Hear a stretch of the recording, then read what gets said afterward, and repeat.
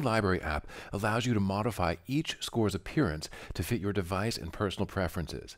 You can preserve the exact layout of the printed Henle editions, or if you'd prefer, you could make the score as large as possible or display as many notes on a page as possible.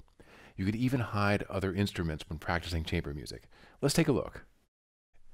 We'll tap the middle of the score to show the menu, and now the gear icon in the upper right.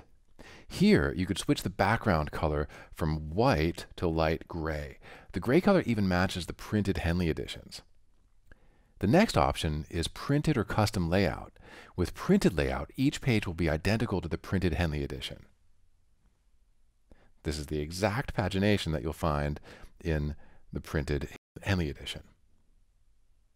Alternatively, you can choose a custom layout.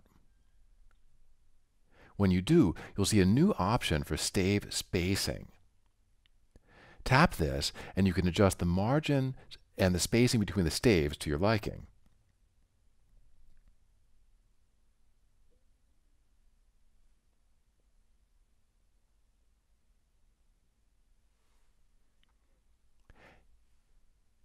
If you practice chamber music, you can even hide the solo instruments. Let me show you how. Go back to the gear icon and tap Hide Small Staves. And there we go. And this is wonderful. If you're a pianist, this is extremely useful for practicing.